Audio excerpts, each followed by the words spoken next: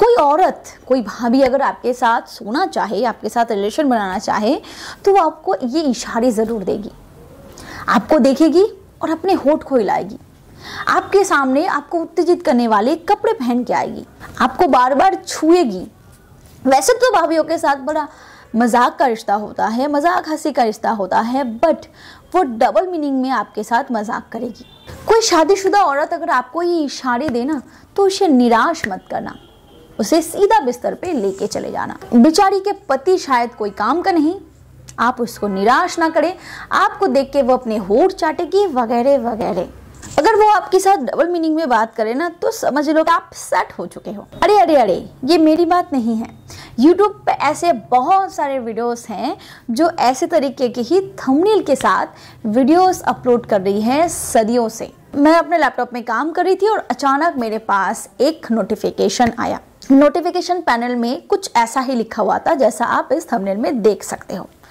मुझे बड़ा एक्साइटमेंट हुआ कि भाई भाभी तो मैं भी हूँ बट ऐसा क्या इशारे देती हैं भाभियाँ जो मुझे नहीं पता।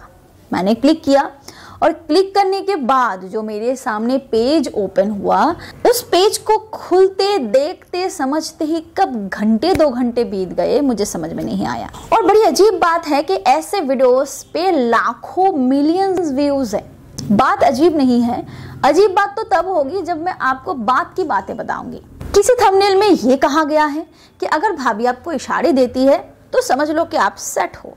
अगर भाभी आपको ऐसे इशारे देती है तो समझ लो कि वो खुश नहीं है, वो आपसे अपना रिश्ता तय करना चाहती आप समझ सकते हो कि बहुत सारे ऐसे वट का इस्तेमाल करके कि भाभियाँ अगर आपके साथ हम बिस्तर होना चाहती है तो वो आपको कुछ ऐसे ही इशारे वगैरह देती है। और ऐसे जो वीडियोस हैं, जो कि पॉपुलर हैं, ऐसे वीडियोस के फॉर्मेट जो है, वो भी बड़ी अजीब है। अगर आप भी ऐसे व्यूअर्स के लिस्ट में शामिल हो तो आप जानते हो।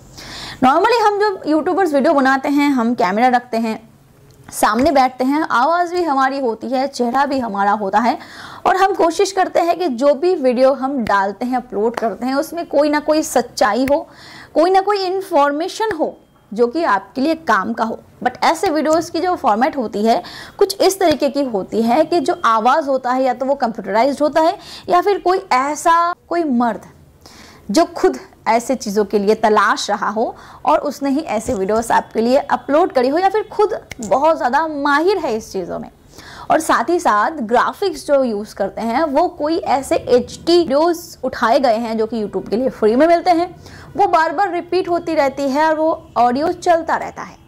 थंबनेल में जो दिखाया जाता है, वो है ट्रेडिशनल इंडियन कोई लेडी कोई औरत जिसका चेहरा किसी के होठ बाहर निकले हुए हैं, किसी ने आँख मारी हो, कोई बहुत ज़्यादा तरस रहा हो, ऐसा कोई थंबनेल पे पिक्चर है और जब वो वीडियो खुलती है तो अंदर कोई भी ऐसी औरत को दिखाया जाता है जो कि हमारे देश के साथ दूर दूर का कोई वास्ता नहीं है।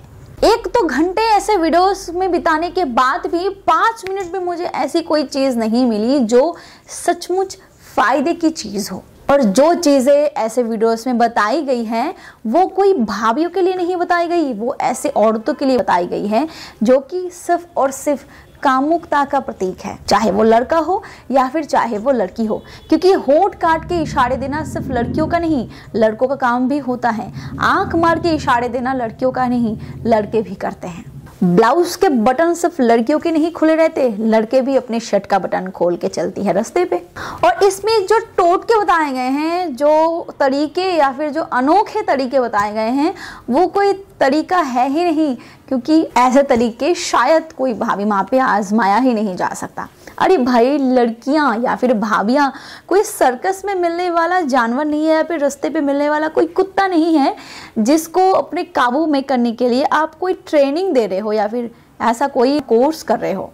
ये जो प्यार, मोहब्बत की चीज़ें हैं, चाहे आप भाभी के साथ ही कर रहे हो या फिर किसी औरत के साथ या फिर किसी लड़की के साथ, किसी के साथ भी अगर आप प्यार के रिश्ते में पढ़ते हो तो ये प्यार व्यार कुछ अलग ही चीज़ें होती है। इसके लिए आपको ट्रेनिंग की ज़रूरत नहीं होती। हाँ कुछ ऐसे टोटके होते हैं जो शायद इस्तेमाल हो बट वो जेंटल और जेनविन होना चाहिए।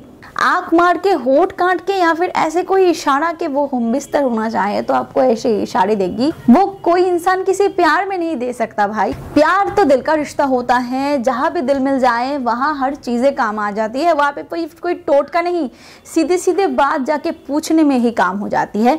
बट अगर कोई इंटरेस्टेड नहीं है आप पे तो भाई दुनिया में वही भाभी या फिर वही औरत या फिर वही लड़की आखिरी नहीं है।